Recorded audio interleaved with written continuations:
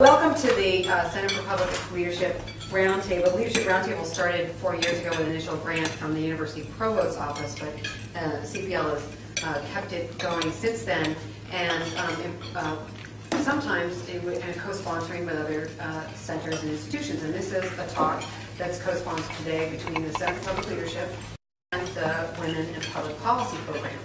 So um, let me, I'd like to to say a couple words of introduction speaker. Linda Carli is an associate professor at Wellesley College. She wrote her uh, dissertation at UMass on uh, gender gender effects on influenceability, and she is now, um, I can safely say, the the uh, leading scholar in psychology on gender and influence. She has written numerous articles on uh, topics such as uh, gender effects on social influence and emergent leadership, gender nonverbal behavior and, and influence, gender language and influence, and um, she's done work on cognitive biases and the effect of hindsight on victim derogation. She's currently uh, working on a book with Alice Eagly on gender and leadership, so uh, please welcome her.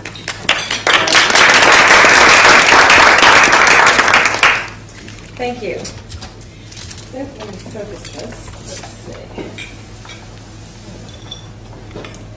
So today I'm going to be talking about gender communication and social influence. And I'm going to be looking at the intersection of gender, gender stereotyping, the way men and women communicate, and how that all affects how influential they are.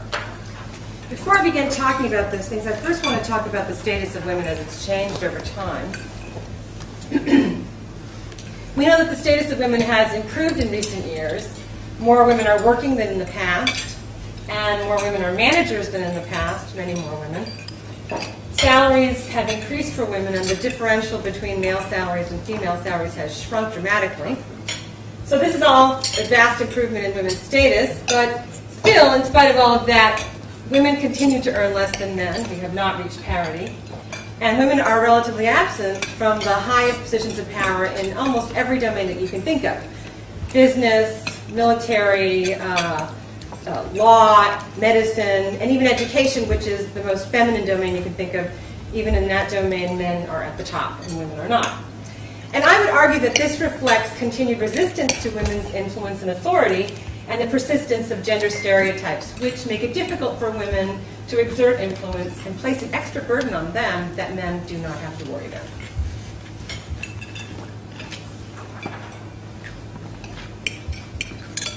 Now, in particular, it is gender stereotypes that contribute to gender differences in communication and influence, and I'm going to be talking about gender stereotypes in part today.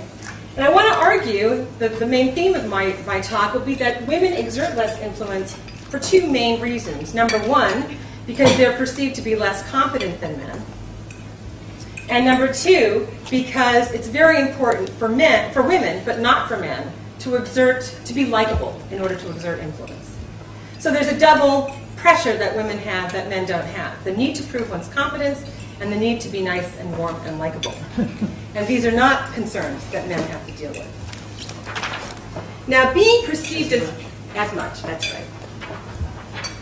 Being perceived as competent and being perceived as likable are both very important to social influence. And there's a vast literature on social influence that goes back for many years. And we know that competence and likableness both affect how influential you are. And you can see this even in advertising. I mean, advertisers exploit this notion when they make an advertisement.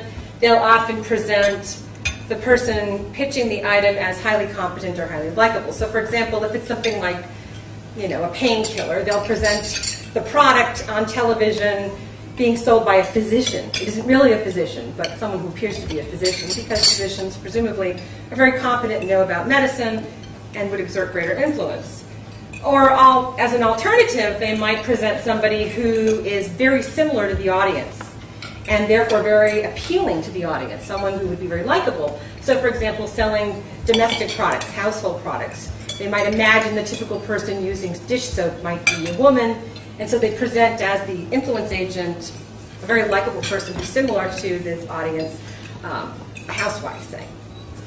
So we know that perceived competence and perceived likableness are important to social influence, and so those are two very important factors that affect women's influence and men's. But it's those two factors that are also particularly problematic for women, maintaining competence and likableness. So I would argue then that the issue of being influential and how one goes about exerting influence becomes more difficult for women than for men. So let's look at the stereotypes and see how these stereotypes relate to those two factors, um, competence and likability. We have lots and lots of research on stereotyping, cross-cultural research and so on, and there are lots of stereotypes about men and women, some of which are irrelevant to the current discussion. But you when you look at overall all this literature, you find a theme running through it, and the theme is that overall, in general, even cross-culturally, men are seen as more agentic than women, more leader-like, more assertive, more confident, more competent, more task competent. Okay? And second, women are seen as more communal than men. Nicer, kinder, warmer, more nurturing. So the stereotypes seem to be that male males have an advantage in the agency area of competence, and females have an advantage in the communality area of warmth and likability. So it seems to kind of wash out. But that, I don't think, is the case, that it actually washes out. like I said, there's a great deal of research on stereotyping where people are simply asked to describe what men and women are like, and that men will be described as agentic and competent, and women as warm and likable. But there's also other research which underscores this, this stereotyping research and shows the, the stereotypes exist in a variety of different domains. So I want to talk a bit about that research as well. First, let's talk about male competence. Um, we know from a variety of different research paradigms that men are perceived to be more competent than women. So I'm going to start first with Swim's research, and she reviewed the Goldberg paradigm research, which basically looks at how men and women are evaluated in terms of the particular products or performances that they create. In the typical Goldberg paradigm study, you would have um, subjects responding to, say, an essay or a resume written by somebody. And they're presented with this essay or resume, say, or some other types of things like artwork. And they're asked to evaluate the particular item's quality. Um, what happens in the Goldberg paradigm studies is that subjects are presented with identical items either ascribed to women or ascribed to men. So it's the identical item. The only thing that differs is either a man or a woman who's supposed to have done it. And in this Goldberg paradigm, what you see is that overall, when the items are attributed to men, they receive higher valuations than when they're attributed to women. It's not a big difference, it's a small difference, but it's a reliable difference. Okay, both so, men and women? Yes, that's correct, for both men and women. The early Goldberg studies um, were actually done with women, started with women. So in that domain, evaluating products without any information about the person except the, um, whether they're male or female, there is a tendency for people to stereotype and see males as more competent. Another domain of, that demonstrates this is research on uh, attitudes about managerial ability. And this research has been done by Virginia Schein, uh, where she's actually studied around different countries in Europe, in Asia, the United States, and so on, asking people what, who would be the ideal manager. And according to what people say, in every country that she studied, the ideal manager is a man and has masculine characteristics. So masculinity is linked with managerial competence in this research. There's only one exception to this, and that is in the United States, females no longer ascribe to this stereotype. So there has been cultural change in the United States, which is great. Women now believe that a, man, a manager could be a man or a woman equally well. Okay? In all other countries that have been studied, women show the same stereotyping as men do, except for the United States. Um, however, across the board, what you do see is that men hold this stereotype more strongly than women do. It's true that everybody holds it, but it's more strongly held by men. And I think that's an important point, which I'm going to come back to again later on. About yes. The uh, the research that grows out of the Goldberg paradigm. Mm-hmm. Um, it reminds me of research done by Todd Pittinsky on uh, positive stereotypes. And it makes me wonder whether there are certain products that I mean, the, the Swim and Goldberg type findings true across all products, or are there certain products where people are actually likely to rate women higher because of the nature of the product? Let me see if I can remember if she had covariation with type of product. Overall, there was the effect for everything. Okay. Across the board. Right, but there may have been there may have been mediating factors, like art might have been not as bad as say resume. Right. Um, okay, So in the Schein literature then, you get this effect more strongly among men than you get among women. Next, you can look at the research on evaluation of leaders, which Alice Eagly has done with many of her colleagues. In particularly her meta-analysis of evaluation of male and female leaders shows that men and women evaluate male leaders more favorably than female leaders. But again, men discriminate more. So the evaluations are more positive for, for men by everybody, but men more than women view men as better leaders. Okay? And then there are these experimental studies, and Biernat, Foschi, and a number of other people have done them. And basically, what they do is they ask subjects to um, identify what would be needed to establish competence in somebody. How well would someone have to perform to be really considered competent? You know, would have, they have to get this many right, or they would have to do what exactly? And uh, what happens in this literature is that male and female subjects require higher standards of competence in women than in men to be considered comparably able. Okay, so when women complain, you know, they have to work harder, the research seems to suggest, in fact, that they do in order to get the same evaluation as men. And finally, related to this, um, in some of my research, it's a kind of I haven't written this up yet, and I'm still not sure what to make of it, but I have revealed in adults, it says adults, but actually in ch- children too, uh, that um, people evaluate themselves more favorably after interacting with women than interacting with men. And there may be something about the nature of interaction with women. Either you feel confident because women are not as smart as you, or women generally are not as competent, or there's something about the nature of the interaction, but people feel more confident in their behavior after interacting with women. And this is true of preschool boys and girls. Boys, I'm sorry, not girls. Boys feel puffed up after interacting with little girls. um, actual performance is not affected.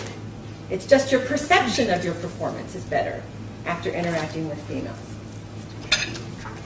So it appears that across a variety of different types of studies and paradigms that, yes, there was evidence that men are perceived to be more competent than women. What about research on female warmth? This is the area where women are in fact advantaged, right? Women are, men, are, men are more competent, women are more warm and likable. In fact, um, research suggests that women are overall seen very favorably. And this has been coined by Eamon Gladnick as the women are wonderful effect. Women are kind, women are good, women are nurturing, women are gentle, women are sensitive, Women are nurturing. And these are all wonderful qualities and people ascribe to women and they think they're fabulous and probably more important than other qualities. And so overall, women get very high ratings. Okay, and this sounds really good and this might provide women with an advantage in terms of social influence.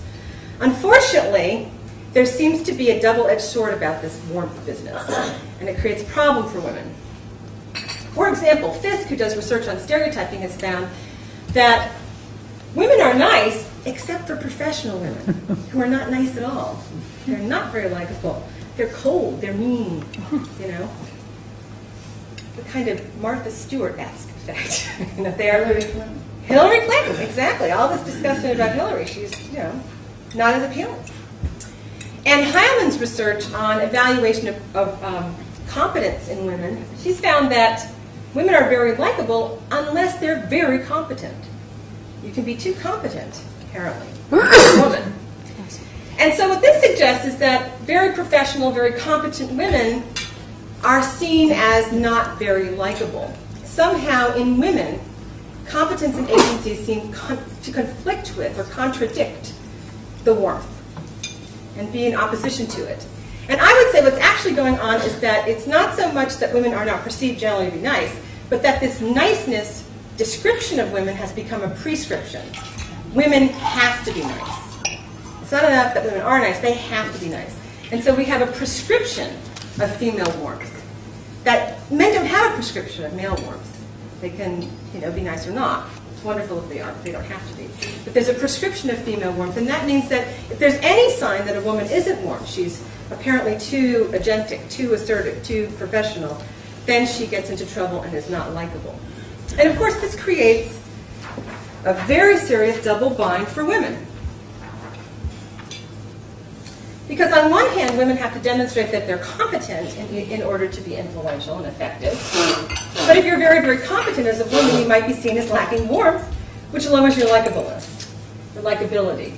And both warmth and competence are needed for influence. So what are you to do? I mean, it is a problem, either one or the other, and they conflict in a way that they don't for men. One would argue that this would create problems for women's influence, that they're not going to be as effective influence agents as men are because either their competence or likableness would be in question. And in fact, we have research showing that that's the case. Lots of studies on women and, and gender differences in influence by Ridgeway, Wood, and others have shown that, have shown that in interactions in groups, for example, uh, men exert greater influence than women do. Okay? Men also more often emerge as leaders in groups, which is another index of this. A particularly interesting study by Propp looked at um, how people respond to information presented in a group by men or women.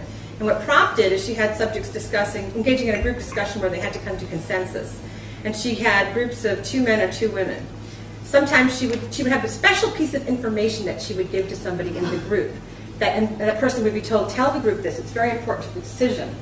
Um, and what happened in the research is that when a man was told to introduce the information, and he did, the group used it, almost always. When a woman was given the information and she introduced it, the most common response was simply to ignore it. Okay, this is, an, I think, a living example of lack of influence. In fact, men contributing the very same idea were six times more likely to influence the group than were women.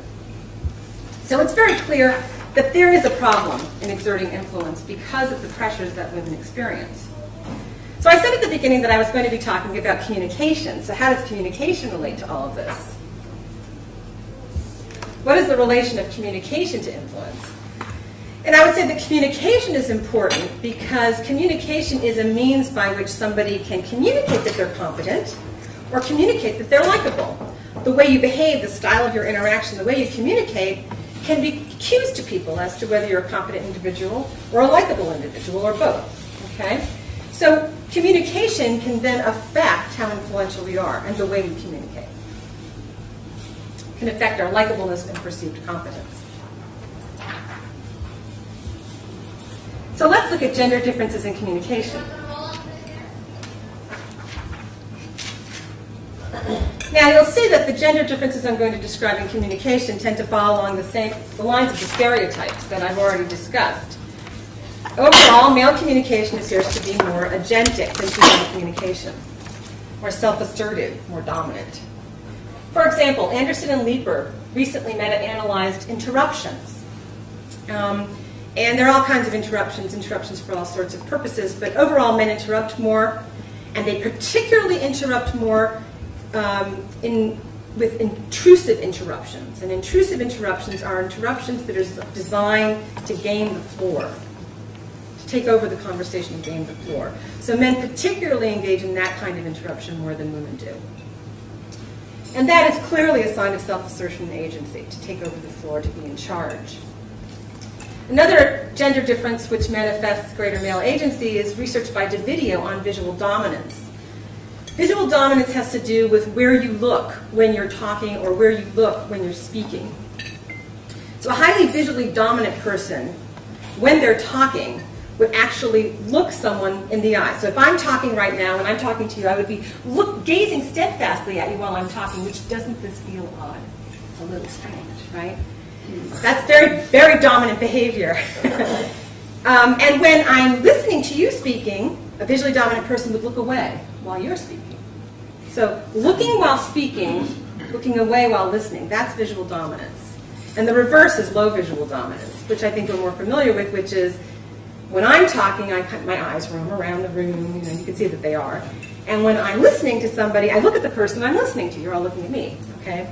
So that would be the more typical thing. So the more you look while speaking and look away while listening, the more visually dominant you are.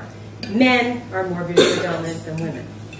Now there are cross-cultural differences in visual dominance, um, and there are contextual differences too. For example, that people are more visually dominant when they're in, in a domain where they're very expert, or very, where they're leaders, visually dominant.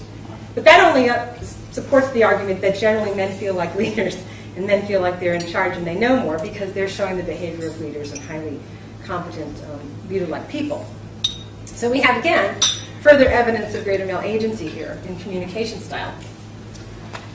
Uh, James and Drakich reviewed the gender differences in total talk. Uh, and again, the amount at which people talk is associated with being perceived as competent and leader-like. And people who actually do have high status do get an opportunity to speak more than those who are low status. Um, research shows that in a variety of different domains, actually every domain that was studied by them, um, men talk more than women. Now it is the case that there is some variation across domain. There are moderator effects.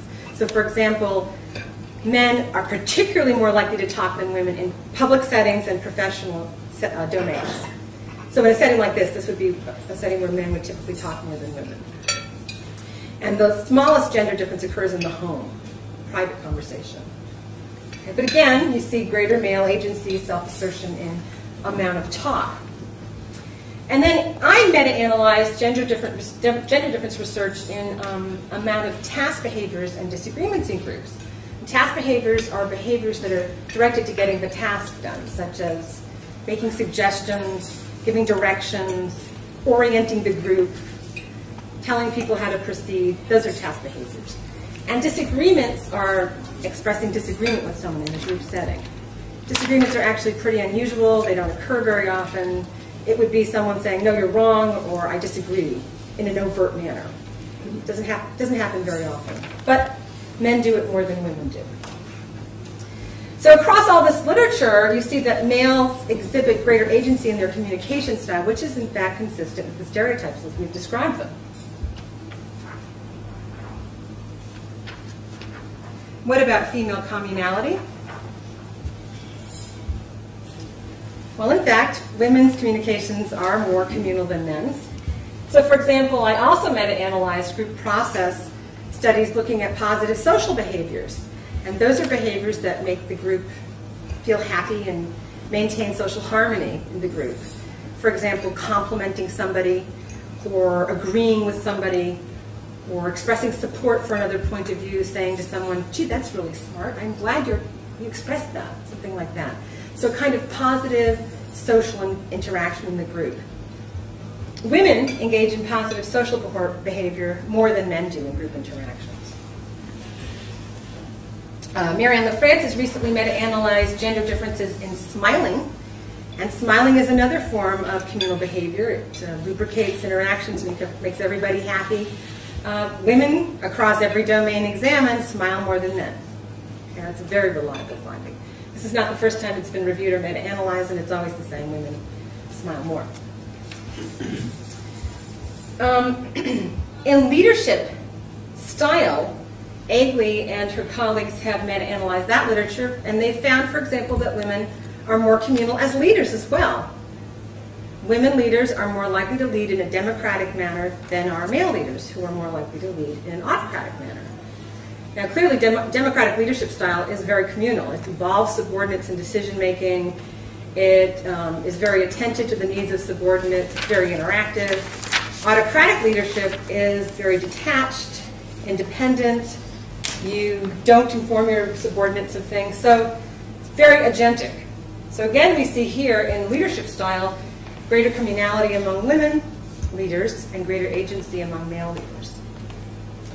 And finally, um, there's research looking at communication style, actual language that people use in interactions. And this literature, again, is very large. There's all kinds of things people look at, looking at language um, like use of pronouns and things like that. But specifically focusing on um, what I focused on and what a number of researchers have focused on is the use of mitigated language, which is language that appears uncertain or tentative. And mitigated language would involve using expressions such as maybe, sort of, it's sort of beautiful day. Isn't it? Isn't it? now, if I were to add a tag question, isn't it? Or if I were to use questioning intonation, it's a beautiful day, that would make me appear less certain, less direct. So the use of maybe, sort of, these hedges, the use of tag questions, questioning intonation, or even self-disclaiming, such as saying something like, well, you know, I'm not an expert on the weather, but it seems to be a pretty nice day. so disclaiming expertise. And we have found, myself and other researchers, that women are more likely to use these more mitigated forms of speech than men are. And in fact, although one could argue that this is not, you know, this might be a sign of deference or something like that, one could also show that mitigated speech is perceived as and often used as a form of communal speech, engaging the other, connecting with the other, not wanting to push people around, wanting to engage. So again, another sign of communality in women.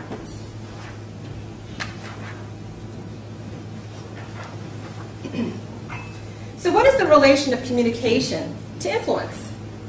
How would they relate? Well, one could argue that if men are already presumed to be competent, and you know they don't have to prove make themselves likable, they should have a lot of latitude in how they behave and still be influential. They should get away with a lot. They should be able to be behave however they want and still be effective. Women, on the other hand, should have more difficulty because their influence would depend more on their ability to establish both agency and communality. So it would be more difficult for them. And their behavior would, and their influence would be more directly related to their actual behavior in interactions. Okay?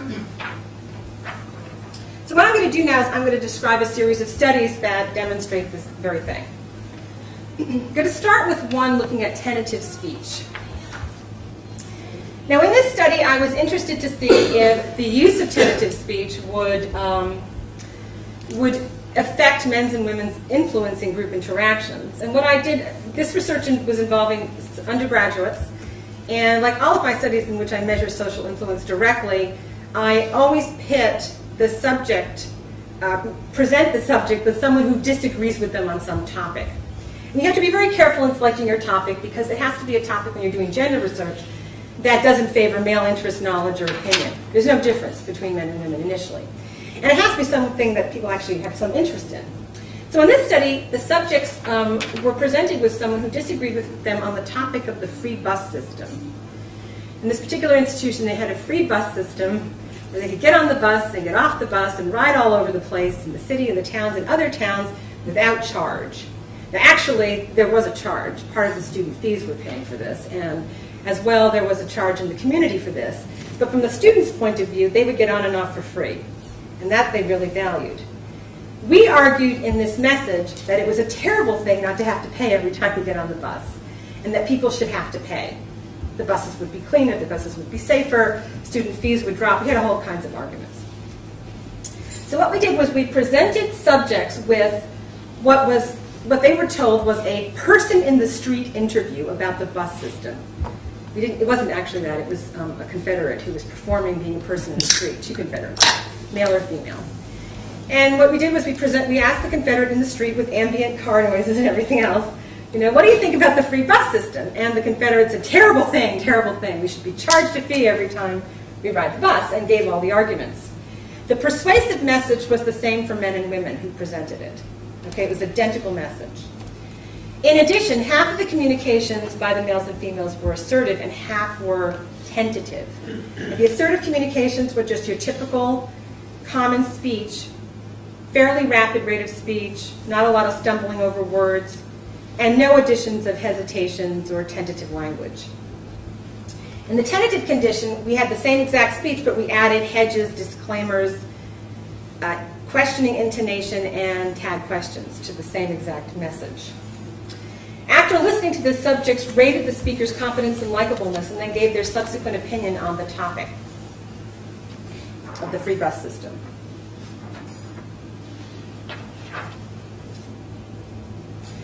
The results revealed that there, in fact, were interactions between uh, of, of language and gender on perceived competence.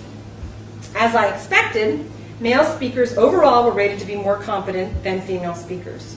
That's just a general main effect for gender of speaker. And they were also rated as equally competent regardless of how they spoke. So in fact, whether a man spoke in a tentative manner or a direct manner had no effect on his ratings of competence. Okay? On the other hand, female speakers were rated as more competent when speaking assertively than when speaking tentatively. So it mattered for women, but it didn't matter for men. Men could do it whatever they wanted because of the presumption of male competence.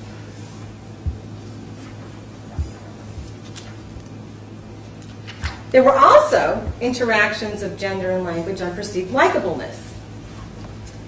Male speakers were rated as equally likable no matter how they spoke. So whether they were tentative or not, they were perfectly likable people.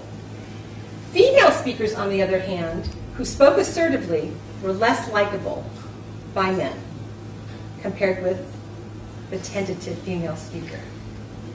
So women didn't have a problem with um, women speaking in a tent, an assertive manner. Women rated females as equally likable no matter how they spoke. But men did. And they preferred the woman who was tentative to the woman who was assertive. They liked her more. And what was the effect on influence? Well, again, there was an interaction of gender and language on influence. Male speakers, unsurprisingly, were equally influential no matter how they communicated. Female speakers, on the other hand, who spoke assertively, were more influential with women, not surprising, right? Because the assertive speech was perceived as more competent, enhanced their competence. But they were less influential with men because the men didn't like them. Now, what's interesting here is that the men rated the assertive female speaker as more competent but less likable. So, what wins out in this is likableness for men. In other words, they're more persuaded by a woman they consider not very competent but very likable than a woman who's the reverse. Okay? All right. Women's assertive behavior did increase perception of their competence, but this, in fact, from with male audience, undermined her likableness. This is the double bind that I was talking about. So it does create a problem, clearly, for women. Well, here that was a situation where you just had competence, which is pretty benign, and I thought, well, competence is a problem, evidently. But what if you really had something more strongly agentic, like dominance? I mean, if you go beyond competence, we're going to go to dominance. What happens then? So in this next study, what I did was I actually trained Confederates to be more disagreeable, sometimes. So subjects were interacting face-to-face in this study with a Confederate who disagreed with them on the topic. And this is, again, these were undergraduate students, and the topic was, should men be allowed in women's dorms after 10 p.m.? and students typically overwhelmingly agree with this. And so our Confederates argued that it's a terrible thing for men to be allowed in women's dorms after 10 p.m. The subjects would listen to the Confederate. They had an ongoing discussion. The persuasive arguments, in fact, in all cases were the same. We came up with a set of arguments for our Confederates. They always use the same arguments. So the content of the argument is the same. We had male and female Confederates, and they either argued in a generally positive way, with no disagreement, or they would overtly disagree. And that we didn't have them do excessive amounts of disagreement, because I said at the beginning, disagreement's a pretty unusual thing in group interactions, particularly direct, overt disagreement. You're wrong. I disagree. That doesn't happen very often. So we just a little bit of that within the discussion we had in one condition, which is the, um, the dominant disagreement condition. In addition to this, having them interact, we, I videotaped them while they were interacting, because one thing I wanted to see was how the subject would respond to someone who disagreed. What are they going to say? What are they going to do to this? How do they respond? And do they respond differently to men and women? Our participants then, when it was all over, rated the speaker's competence and likableness and then gave their subsequent opinion on the topic of men and women's dorms.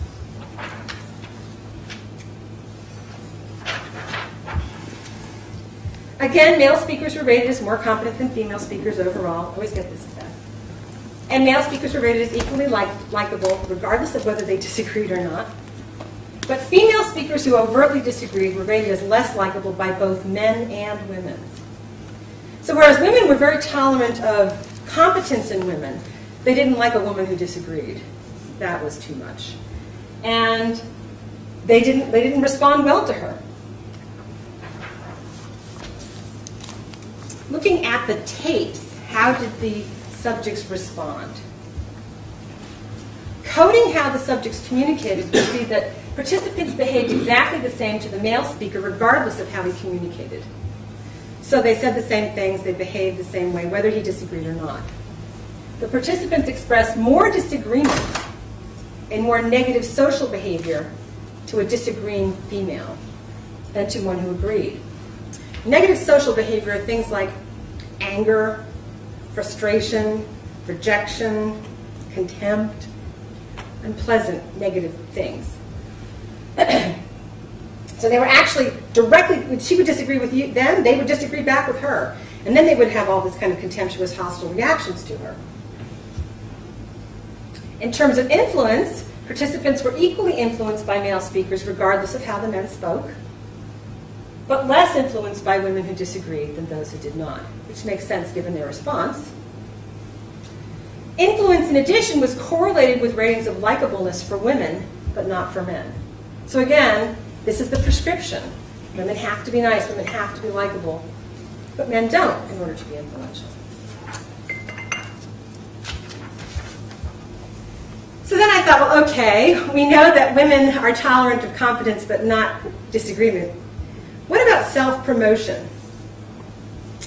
You know, if you want to be perceived as effective and you want to, let's say, get a job or get a promotion or get, um, get a raise, you might have to go and make your case, right? You might have to self promote a little bit. So the question I asked in this study was what happens with self promoting versus modest behavior in speech? And this particular study was done at Wellesley. And I just want to say, you know, Wellesley, if there's any environment that endorses female agency, it's at Wellesley. They endorse it. They are it, you know. They believe they're going to be female leaders of the future. So this is a place that supports agency in women. But here we're looking at a particular form of agency, self-promotion, and how do they respond to that. What I presented with my, my subjects with was an um, application for an academic award. It was a written application and we told subjects that this applicant was trying to get a monetary prize and that the, they were being evaluated on their past accomplishments of all kinds, personal, academic, athletic um, work. And so we wrote up this application, presumably by a female and male, or male student, and it was identical in all cases, except in one case, the same accomplishments were described relatively modestly, in another case, rather relatively immodestly. So, for example, one of the things they had done is worked at a home for the elderly. And in the modest presentation, they would say, you know, when I left, it was, we all felt touched and I was moved by the, re the response of the, of the residents. In the immodest condition, it was when they left, when I left, I could see tears in their eyes as I was walking out the door. So it was relatively immodest. Um, a description of their athletic accomplishment in one case was, we were, I worked together with my team to win the state championship. And in the immodest one, it was, I inspired my team to go forward and win the state's championship. So one more modest than the other. Participants read this description. They had to decide whether or not this person was deserving of an academic award or not. And they rated also the personality characteristics of the applicant.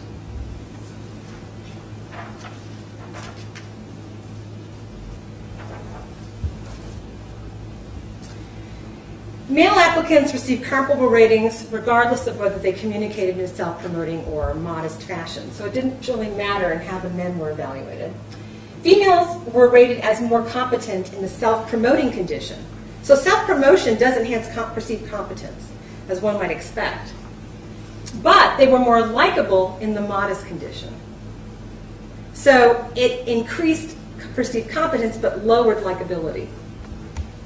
As a result, male applicants exerted greater influence in both conditions because in one condition, when the women were self-promoting, they weren't likable, that undermined their influence. And the other condition where they were not self-promoting, they were less perceived as less competent, which undermined their influence. So overall, even though we had a very progressive group of subjects who endorsed female agency, they weren't tolerant of female self-promotion. So in this next study, I thought, well, is there anything a woman can do? What can you do to overcome this problem and get around the double bind? What a problem it is. So I thought, well, maybe you can be both warm and competent at the same time, which is a little bit difficult, but maybe there is a way. And so what I did was I again hired Confederates um, who were going to engage in persuasive message uh, with my subjects. In this case, it was whether subjects should pay for the meals they eat only the meals they eat, or should they all pay for a meal plan generally? Subjects at this particular institution wanted to only pay for the meals they ate. Have freedom, you know, you go in, you get the meal, you pay for it. You don't want to have to pay for the whole meal plan where some things might not be tasty and you don't want to eat them. So we argued they should pay for everything. Um, and we presented our Confederates who were male and female either as very competent alone, merely competent, or competent plus communal. The merely competent speaker had a very erect posture, spoke very rapidly because rapid speech is associated with perceived competence, did not stumble over words, did not hesitate, maintained fairly regular, but steadfast eye contact, um, used minimal hand gestures, and they were always rather restrained. Um, the communal plus competent had the same kind of speech, a little bit less fast, but uh, leaning forward body, lots of smiles, and head nods. so head nodding, smiling, and forward leaning, those are signs of interpersonal warmth and engagement. So that we have those two conditions. So you've got this, you got this really kind of um, competent verbalizations combined with nonverbal going on. So the participants observed this, and then, then they gave their opinion of the topic, and they rated the speakers on how competent, likable, and threatening they were. Added threat in this study. I had male and female subjects in this study. Again, male speakers were rated as more competent than female speakers, and they were rated equally on all the variables across the board regardless of how they communicated. You know, the equal in likability, warmth, and threat.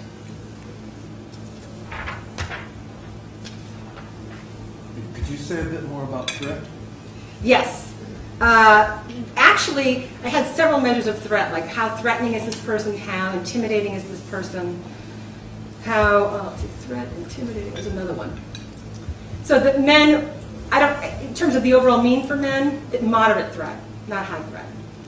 But what gestures Okay, um, well, I didn't say this because it's not the focus of this paper, but I also, of, of this talk, but I also had other conditions which were more extremely dominant, like yelling, pointing, and frowning and making the eyebrows go down and all this other stuff. And so I also wanted to look at, you know, what happens if you, remember the one study I mentioned about disagreement? It was modest. This was like over the top dominant.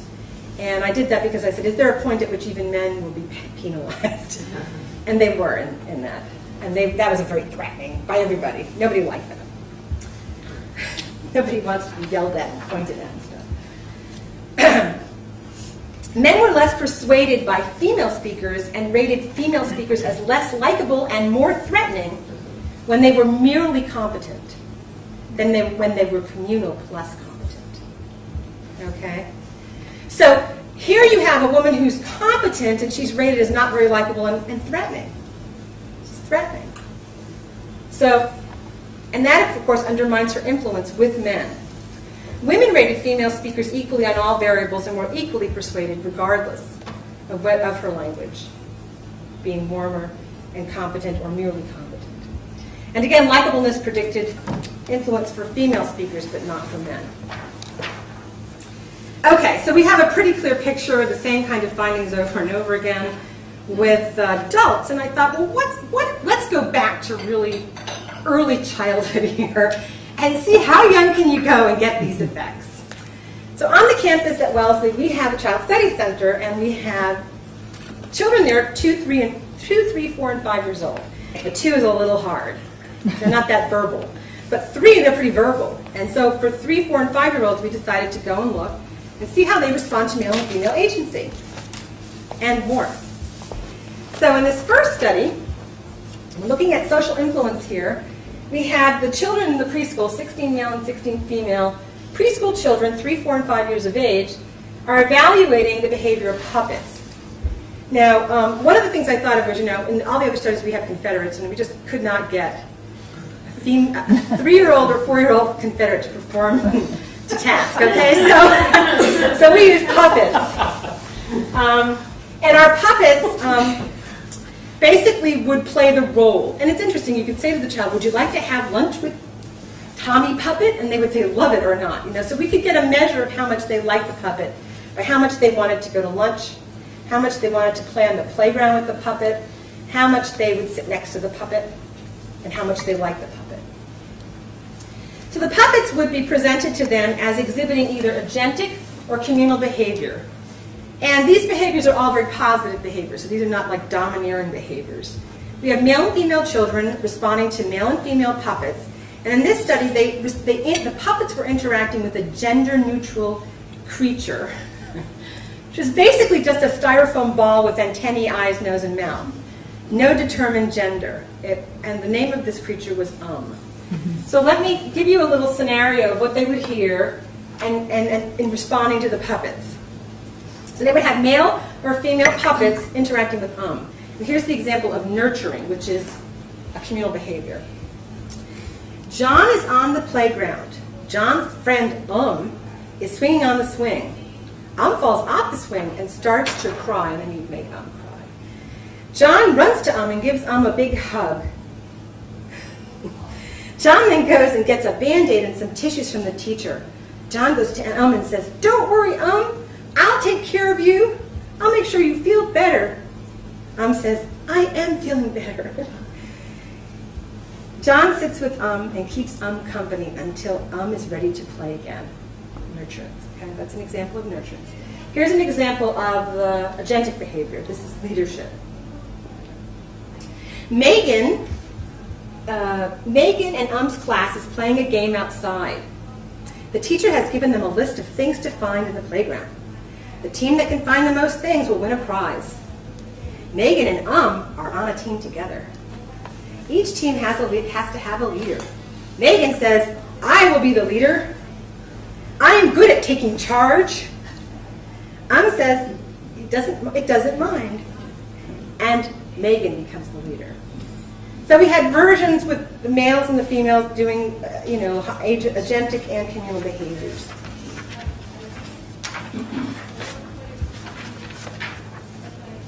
Okay, so what happened? There was equal liking for the male puppet regardless of how it behaved, and this was true by male and female children. Equal liking of, the female puppet by girls regardless of its behavior. But there was a preference for the communal over the agentic female puppet by boys. Okay, so these are three, four, and five-year-olds, and the boys are already showing the effect. It was amazing to me. This was a multi-way interaction. I just almost fainted. so then I thought, let's do an influence study. Why not? Um, with preschoolers. In this particular study, I asked, I presented the children with gender neutral toys because I wanted to make sure I controlled for gender typing.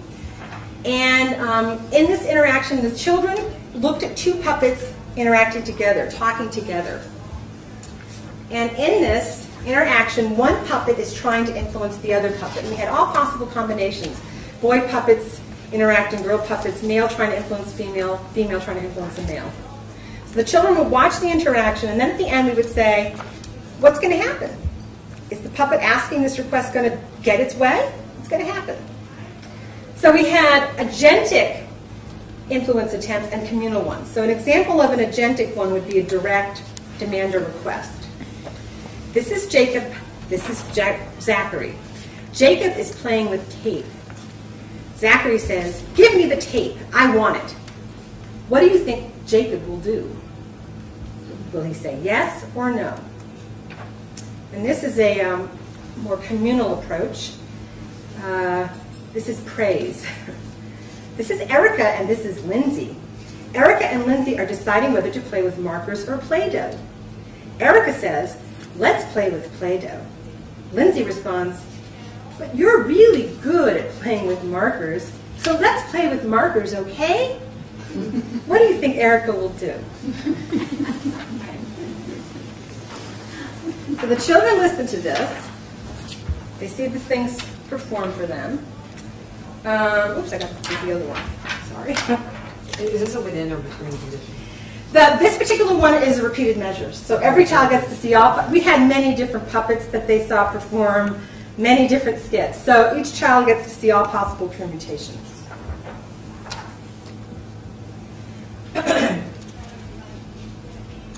Equal liking was found for the male puppet regardless of its behavior. No, I've got the wrong one, I'm sorry.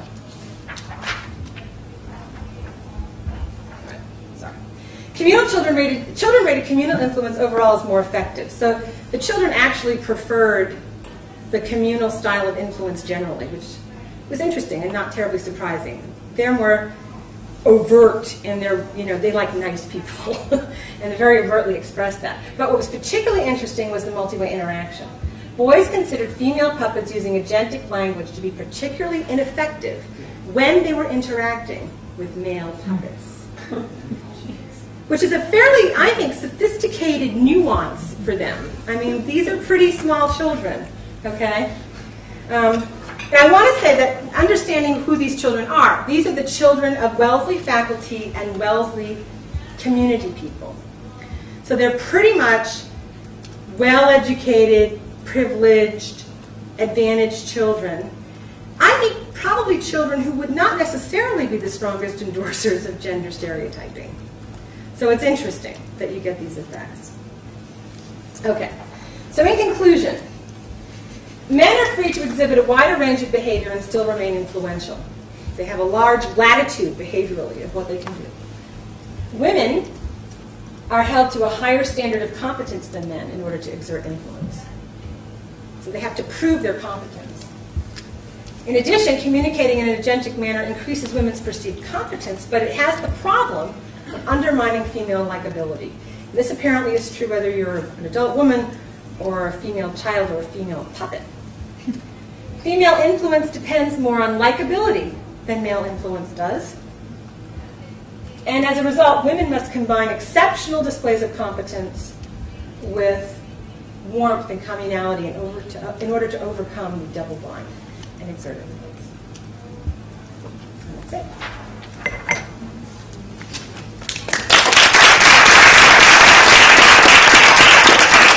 Yes. I'm uh, interested in a sort of question to you personally. Yes. When you showed us at the very end, almost at the very end, uh, the finding that uh, this is in children, Hmm. uh, that, that, that boys had strong preferences, particularly towards likability and so forth, you said, and I was astonished. This is you talking to Yeah. us. You went, and I was astonished Yeah. to find that. So, what were you astonished at? that, well, you know, actually, this was the second time I've gone with the children, and so I shouldn't have been totally astonished, but that you could get a four-way interaction that imitated adult four-way interactions, Or pre- foreshadowed? foreshadowed it, but that it was the same effect in three and four-year-olds that you So were you got. astonished at the, did, I, I, I guess I want to tease out the nature-nurture issue. Right. Did, were you saying to yourself, oh my God, this may be more nature than I thought? No, I'm not. My dream, what I would really like to do next, is I would like to do uh, look at different ethnic groups. Now, in the Child Study Center, there are people of different ethnic groups, but they're rather few. And, and they're also like socially this upper class kind of community. It's not really diverse enough.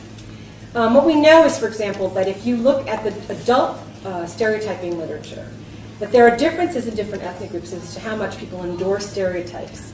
It has to do with the gender difference in status in income and, and professionalism. So, for example, among African Americans in the United States, they have the smallest gender difference in salary. They have the smallest gender difference in status in work. They also hold many fewer gender stereotypes. It is not true about Africans in Africa. It's true about African Americans. So when you look at the differential, you should be able to match the differential in income and status with the differential in stereotyping. And you should be able to get that same effect with the children. So what I would like to do, it would be great fun, to have a, a sample of inner city black children. It's great. Um, and then, you know, look at Asian Americans where the differential is greater, or Hispanic Americans where it's greater. Then maybe replicate this in other countries where the disparity is even greater still. So your speculation is that whatever is going on as far as uh, nurture goes, Right. it is happening at an extremely early Yes, age. That's right. That's right. I, that's what I believe. I mean, I think they're little replications of their, you know, their, their culture. I think they're so socialized already at three. I don't think you can avoid it. You know, there they are. They're just amazingly socialized, and they, they are probably going to reflect whatever values their parents had. And I didn't have access to the parents, unfortunately, and I wouldn't get it. Not Well, interestingly, you also made the point that this is a very particular population. Oh, yeah. Presumably would have much lower than gender stereotypes. I would think and so. yet you're still speculating that this is Yes. uh, nurture and not nature. That's right. That's right. Partly, I, one of the things I wasn't able to do was to find out, and this is just a very interesting aside, the people who come, the children who come from Wellesley faculty, I think would be different than the children who come from the community. In the community, you have a lot more stay-at-home mom types. Wellesley faculty is sort of a mixed bag. It depends on who the faculty member is. If it's the child of a mother who's teaching, that's probably not very traditional. If it's the child of the father who's teaching, it may or may not be. You know, it varies. The fact that they are at Wellesley, there's a sort of progressive ethos. You know, everybody's very progressive at Wellesley. In the, the college, I don't know about the communities much, um, but I could. I didn't have access to the parents. I don't know. Yeah. Hi, let me, uh, if I may, make a typical female statement. I'm not an expert in this area. Okay. Uh, As I was listening to you, I was substituting estrogen and testosterone for all of your male-female uh, differentiations and trying to think how far back you go uh, in terms of using this as a baseline. First, I thought the children's experiments were ingenious; those were wonderful, uh, and to think about how the behavior reflects biology in that way, and then the potential to measure from that assumption of really measuring what estrogen inputs are and testosterone. I remember Dan Bell, who was a sociologist when I was a student, saying if you inject 10 milligrams of testosterone to any white mouse, you're going to see amazing differences in mm-hmm. behavior. And I think some of the things you're picking up there, yes, there are cultural variations, but there's a baseline from which you might want to measure some of that. And the other thing that hasn't come through, I think, in some of what I was listening to, using my own very primitive measure of testosterone and estrogen, was the fears of castration in men and how some of this, again, could be interpolated based on that. Uh, recently, Hillary Clinton spoke, and people, men in the audience, were going like this, and I didn't know what it meant. And it meant castrating. And my response was, not by Hillary, clearly, but uh, she was seen as a castrating woman. Right. And that's as primitive as you can get. And I think some of the very sophisticated work that you're doing Right. overlays some biology. We want to know a little bit more so that we can get a better handle on how one then measures the culture. you know, like a three-year-old understanding that a girl puppet interacting with a boy puppet is different than a girl puppet interacting with a girl puppet, and there's not really logical hormonal things going on yet. Um, or men under certain conditions. Let me just give you an aside. Interesting study looking at under what conditions are men willing to go along with a competent woman? Are there any conditions? Well, you know they are if they're likely to benefit. So if you place them in a situation, make it very clear. You've got, you can work with this rather really competent woman, or this less competent woman, or some a man of moderate competence. They'll pick the man usually. And then if you say, well, you know what, whoever you work with has the potential of helping you gain a lot of money. You pick the person, it's up to you. They find this very competent woman is suddenly so attractive. Okay? Because she has the potential to make them gain something. Women are less likely to respond on those bases mm-hmm. than men are. The men are much more pragmatic. So I think it's, yeah, I agree with you. I think it's very, very complex and very contextual, much more than the level of the hormones, I think, even. Oh, yeah, I didn't, sorry, I didn't mean to say that it was No, no, I- I wanna- I hormonal, know. because I think one of the things we've seen is that within the male population and within female population, there is an overlap in the Oh, yes. distribution, both of behavior and Oh, yes. uh, hormones, so that And we're in not this too. talking about a given, you know. Oh, and this too, there's overlap. Right. But these are mean differences. I actually want to go back to a question I had Sure. about your, your last uh, conclusion with regards to children, which I thought you said that both boys and girls preferred communal behavior. Overall. Overall, for both boys and girls. There was a- just like a main and female effect. Yeah. But with adults, my understanding was that men preferred competence in men and communal behavior in women. So that there were, there were differences. No, no, men could do anything. Men, Men could could do anything. But what did they prefer in others? In other Um, they liked the competent men and the warm men equally well. Your, your example anything. of agentic, though, with the kids, was a, a particularly aversive version of agentic, which was, I want that marker, give it to me. Right, that was the It- more it- dominant. It wasn't, I mean, it wasn't. It was um, very- You, you could have, you could have invented a, a version of agentic which wasn't quite so aversive. That's right. We actually had multiple. We had some. They vary in degree. Some of them are dominant, and some are less dominant. So there's a there, there's a degree there. Um, but the tendency is for the boys, if they, if they don't like directness, they don't like dominance in girls. Okay, so it's, so, yeah. Um, I I have to admit, I- I'm watching my career flash. Aren't we all, dear? Yes, we all are. And, and, At um, least all the women. and I mean, I, in a previous life, I worked in a diesel engine factory and Department of Transportation, very, very male-dominated things and all that. And um, I, I was picking up on this issue about the difference in my relationships when I was the boss or when I was the subordinate. And um, the, the, the question is, I mean, I had better relationships when I was the boss. And is it, is it, um, is it possible that being the boss, um, kind of, it- it- without the idea of threat, and not just about what can this woman do for me, whether being the boss um, kind of gives you the space, gave me the space to be competent and likable over time. And so that people, my, my subordinates, they had to sit there. I mean, they had to put up with me kind of thing. And then again, if you, if you kind of take out whether I was a, a good boss or a bad boss or mean or friendly, because I'm not, I'm not, a- I, I think I'm not the likable type. And I'm very directive. Um, it- But that I had the space. When they were my subordinates, I had the space over time to both prove competence and likability kind of thing. And, and that there wasn't this immediate reaction. I mean, Is that what happens? Well, well, it's, there's lots of opportunity for more research in this, so we don't know everything. But a couple things we do know. One is that if you are in a position of formal authority, it's people treat female leaders more deferently than they do females.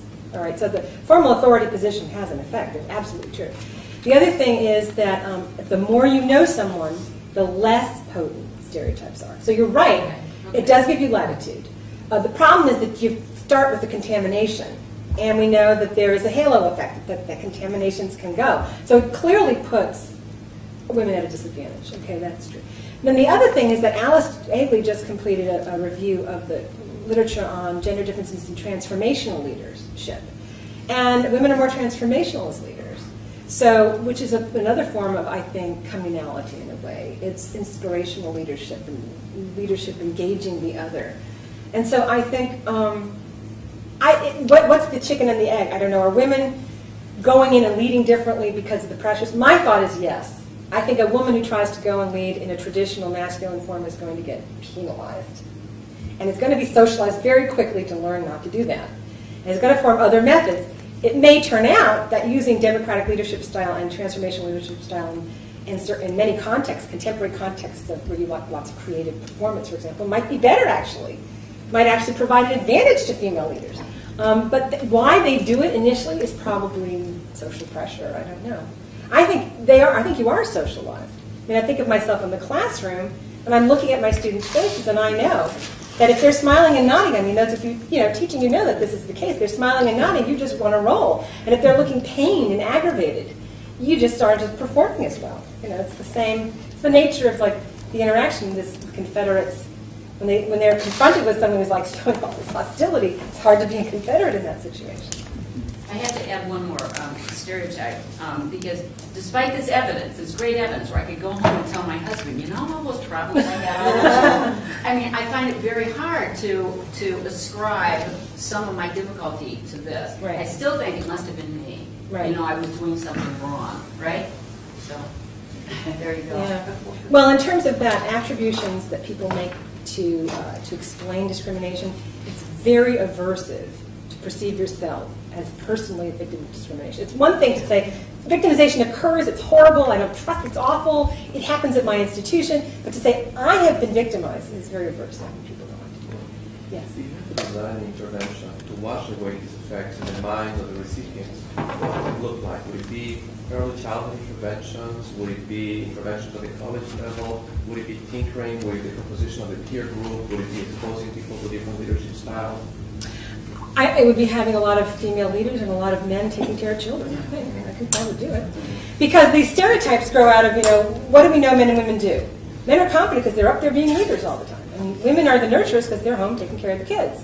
And even if women work, they're still home taking care of the kids. That hasn't changed. So if you want to change people's stereotypes and what they think is important, you know, if you want to be a good mommy, you have to be nurturing.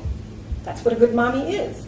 But if, if daddies are now at home nurturing babies and kids, to be a good man, you have to be nurturing.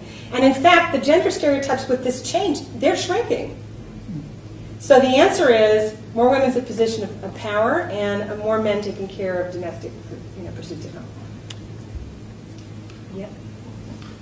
I think all of us have probably had this experience in advising students. I mean, my overwhelming experience of this is that um, male and female students are roughly equally competent in terms of their mastery of the material.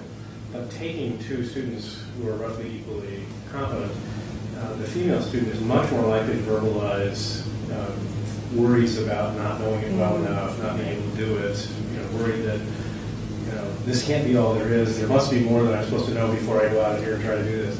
And male students are much more likely to assume that that's the way it's supposed to be, and you know they've got it as well as anybody, and they'll go out and do it. And it seems to me it relates very directly Yeah. these assumptions and, and interpretations, but it's also partly how they wear it. It's how they present it to the world, which directly has an effect that you've observed in the influence. So I'm wondering, I've been sitting here throughout the discussion, thinking, okay, so what are we supposed to tell them? And one question is, what would we tell female students about how to become more influential? Which is a lot of what you've described. Mm-hmm. What's the, what's the best balance of these things? What do you do? Which, I, which is a very interesting question. I want to actually, actually encourage you to flip the frame a little bit with it, because as you've described these behaviors of women's, and you put it in gender terms, women's patterns for how they interact and how they exert influence, and why those are received or not received well. I've been hearing also, thinking about this in terms of the functional behaviors for problem solving within a group. And many of the behaviors that you described as being more influential, more likely to produce influence, are in my view also likely to produce worse answers by the group as a whole. Mm-hmm. In other words, they're dysfunctional from the perspective of group problem solving. Now, I, I bring to this an interest in crisis management, where everybody is intrinsically incompetent. Because the nature of a crisis is we haven't been through it before, we we're making this up as we go along. That's the nature of the problem. Mm-hmm. And in that setting, it seems to me the process of, of producing the best amalgam that we can of the available knowledge is really important. And the challenge of people being influential by seizing the floor and interrupting and all those kind of, I don't think I want to teach my women students to master the same dysfunctional characteristics mm-hmm. that my male students had obviously mastered at age three and, you know, practicing ever since. Um, so this worries me a lot. And, and what I want to ask you to, to think about, there's a, been some very interesting development in, starting with aviation, about how to try to improve the overall group function. And the notion was, you know, it's often dysfunctional in the cockpit that somebody has authority and shouts down everybody else and tells everybody else to shut up and then flies the plane into a mountainside just because they didn't know it was there. And one possibility is you change the behavior, you reduce the authority.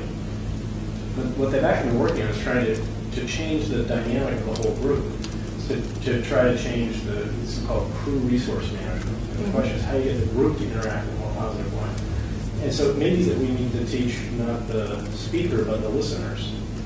Uh, and to think about your, what your work is suggesting in terms of retraining the group that's interacting with the influencer rather than the influencer herself. Right. Well, I mean, I think, you know, looking at group process and trying to relate it to these behaviors, you're right. I mean, I hope I wasn't suggesting that women should behave like You're men. not. No, no, yeah, Okay, no. because that, that, I- that would not actually be a, a good thing. But um, generally, and there's, there's kind of, depends on what the context is, it depends on what the group is, but, you know, what the task is, whether there's a clear answer or not, um, whether it's a creative task or not. But generally speaking, for very creative kinds of tasks, where you need lots of insight, then the more communal approach is actually better in groups. Yeah.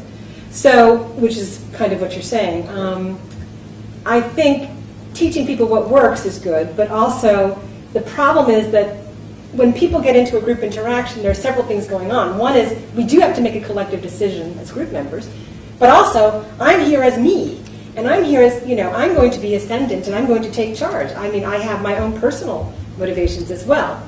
So you have to make, somehow I think, make them feel very committed to the collective group experience or outcome more than, and, and even maybe their own personal success has to depend on that. And then they're much, going to be more likely to be reflective. I mean, I think there are going to be some people who are still going to want to take control. I mean, if you look at groups that composed entirely of men versus groups composed entirely of women, male groups are much more hierarchical. They're much more. Um, there's one person who talks the most, and it breaks down, you know, second most, third most, very clearly. Um, women's groups are more egalitarian. Um, so if you could, you know, could mix gender groups, you don't want a single man. You want to encourage everybody to to focus on the group outcome. That, yeah, maybe put in people who are, you know, the devil's advocates, deliberately saying, you know, we can't just take one point of view. My role as a devil's advocate, we have to consider different things. Everyone must speak. We have people who have the role of being social maintenance people. Yeah. In So your- probably talk. Okay. In your research and those that you've drawn upon, what account is taken of the realistic possibility that, the men will exert force and violence? Force and violence in what kind of context? Almost any. From domestic abuse Mm. to civic life. The boy kid will take the marker and hit the puppet. Yeah, it does. It does happen. I mean, we, we. I've never had anyone become violent in my in my research. I've had like rude language. Um, Well, well let me say, as a, a, a boy growing up on the playgrounds of Los Angeles during World War II, there were lots of gangs around. Oh, I yeah. found that my range of uh, possible reactions was very limited. I smiled a lot. I was very genial. Mhm. I did a lot of things that you ascribe to women Right. when when I wasn't in a position to assert any other Right. powers against dominant force. Mm-hmm. Yeah, that's right. One of the real curiosities is, you know, what's going on in the head of someone who's really dominant, kind of a bully type. What is going on in their heads? Because we know from research that what happens on the surface is that people comply with them to get away from them. So you get the bully, and the bully's pausing everyone around. Everybody says, "Okay, fine, whatever, I agree." And then they go silently, say, "What a jerk," you know, and they hate this person. Is the bully oblivious to this? Does the bully care? I mean, there is research on bullies. Um, some some evidence suggests that they are the, more likely to misrepresent what's happened.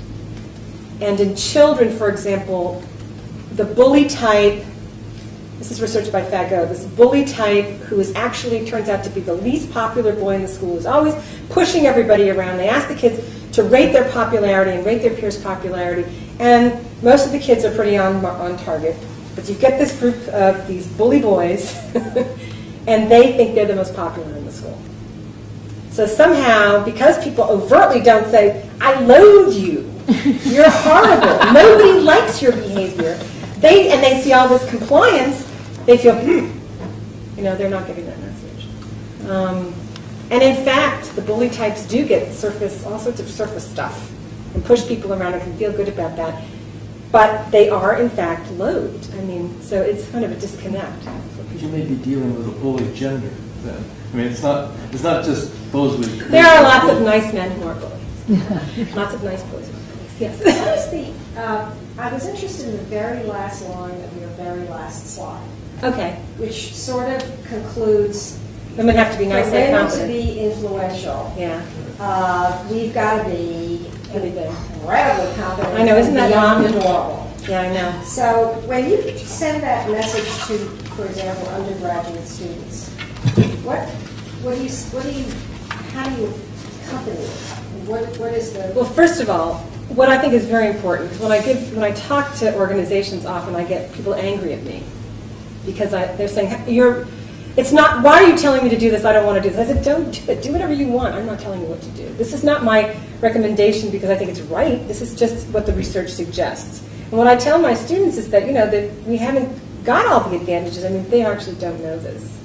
They actually, at Wellesley particularly, they don't know this. Mm-hmm. Oh, I, I They- think that at the Kennedy School. They think everything is jolly. They're going to they're going to have everything. They're going to have a family. They're going to have a husband who does all the, the dishes and he's going to clean the floors. He's going to earn a huge salary and they're going to have lots of children. It's going to be fine. They're going to be the CEO of some Yeah, yeah. organization and on and on. They have no conception. So when I tell this is like a rude awakening to hear this. And I say, you know, you just have to make some realistic assessments of what's going to happen.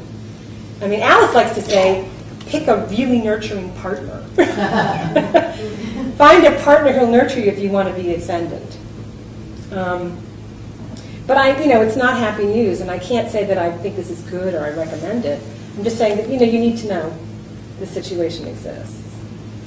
Wonderful. Thank you so much. This is really. I know that the status of women has improved in recent years. More women are working than in the past, and more women are managers than in the past, many more women. Salaries have increased for women, and the differential between male salaries and female salaries has shrunk dramatically. So this is all a vast improvement in women's status, but still, in spite of all of that, women continue to earn less than men. We have not reached parity. And women are relatively absent from the highest positions of power in almost every domain that you can think of. Business, military, uh, uh, law, medicine, and even education, which is the most feminine domain you can think of. Even in that domain, men are at the top and women are not. And I would argue that this reflects continued resistance to women's influence and authority and the persistence of gender stereotypes, which make it difficult for women to exert influence and place an extra burden on them that men do not have to worry about.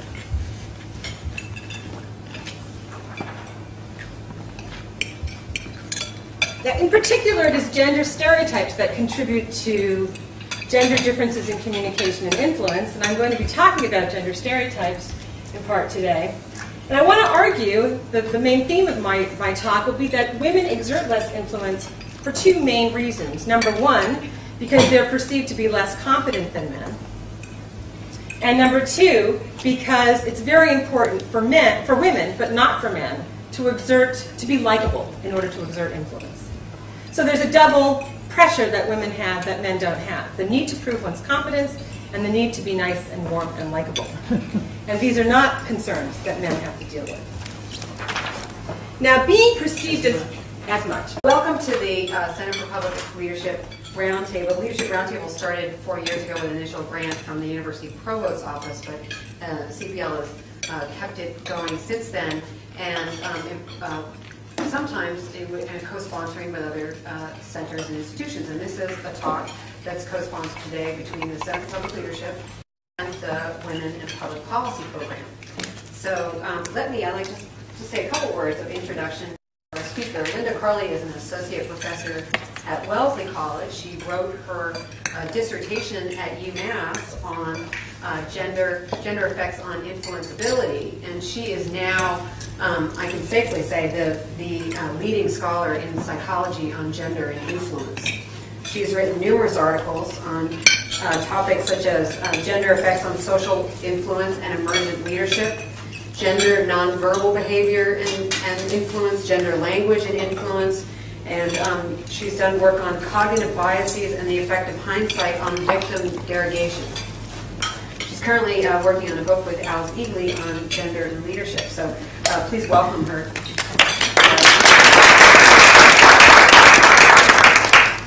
Thank you. Me focus this. Let's see. So today I'm going to be talking about gender communication and social influence. And I'm going to be looking at the intersection of gender, gender stereotyping, the way men and women communicate, and how that all affects how influential they are. Before I begin talking about those things, I first want to talk about the status of women as it's changed over time. That's right. Being perceived as competent and being perceived as likable are both very important to social influence. And there's a vast literature on social influence that goes back for many years. And we know that competence and likableness both affect how influential you are. And you can see this even in advertising. I mean, advertisers exploit this notion when they make an advertisement. They'll often present the person pitching the item as highly competent or highly likable. So, for example, if it's something like, you know, a painkiller, they'll present the product on television being sold by a physician. It isn't really a physician, but someone who appears to be a physician because physicians presumably are very competent and know about medicine and would exert greater influence. Or as an alternative, they might present somebody who is very similar to the audience and therefore very appealing to the audience, someone who would be very likable. So, for example, selling domestic products, household products. They might imagine the typical person using dish soap might be a woman, and so they present as the influence agent a very likable person who's similar to this audience, um, housewife, say. So we know that perceived competence and perceived likableness are important to social influence, and so those are two very important factors that affect women's influence and men's. But it's those two factors that are also particularly problematic for women, maintaining competence and likableness. So I would argue then that the issue of being influential and how one goes about exerting influence becomes more difficult for women than for men. So let's look at the stereotypes and see how these stereotypes relate to those two factors, um, competence and likability. We have lots and lots of research on stereotyping, cross-cultural research and so on, and there are lots of stereotypes about men and women, some of which some other types of things like artwork. And they're asked to evaluate the particular item's quality. Um, what happens in the Goldberg paradigm studies is that subjects are presented with identical items either ascribed to women or ascribed to men. So it's the identical item. The only thing that differs is either a man or a woman is supposed to have done it. And in this Goldberg paradigm, what you see is that overall, when the items are attributed to men, they receive higher valuations than when they're attributed to women. It's not a big difference, it's a small difference, but it's a reliable difference. Okay, for both men and women? Yes, that's correct, for both men and women. The early Goldberg studies um, were actually done with women, started with women. So in that domain, evaluating products without any information about the person except the, um, whether they're male or female, there is a tendency for people to stereotype and see males as more competent. Another domain of, that demonstrates this is research on uh, attitudes about managerial ability. And this research has been done by Virginia Schein, uh, where she's actually studied around different countries in Europe, in Asia, the United States, and so on, asking people what, who would be the ideal manager. And according to what people say, in every country that she studied, the ideal manager is a man and has masculine characteristics. So masculinity is linked with managerial competence in this research. There's only one exception to this, and that is in the United States, females no longer ascribe to this stereotype. So there has been cultural change in the United States, which is great. Women now believe that a, man, a manager could be a man or a woman equally well. Okay? In all other countries that have been studied, women show the same stereotyping as men do, except for the United States, which are irrelevant to the current discussion. But you when you look at overall all this literature, you find a theme running through it, and the theme is that overall, in general, even cross-culturally, men are seen as more agentic than women. More leader-like, more assertive, more confident, more competent, more task competent. Okay? And second, women are seen as more communal than men. Nicer, kinder, warmer, more nurturing. So the stereotypes seem to be that male ha males have an advantage in the agency area of competence, and females have an advantage in the communality area of warmth and likability. So it seems to kind of wash out. But that, I don't think, is the case, that it actually washes out. Like I said, there's a great deal of research on stereotyping where people are simply asked to describe what men and women are like, and that men will be described as agentic and competent, and women as warm and likable. But there's also other research which underscores this, this stereotyping research and shows the, the stereotypes exist in a variety of different domains. So I want to talk a bit about that research as well. First, let's talk about male competence. Um, we know from a variety of different research paradigms that men are perceived to be more competent than women. So I'm going to start first with Swim's research, and she reviewed the Goldberg paradigm research, which basically looks at how men and women are evaluated in terms of the particular products or performances that they create. In the typical Goldberg paradigm study, you would have um, subjects responding to, say, an essay or a resume written by somebody. And they're presented with this essay or resume, say,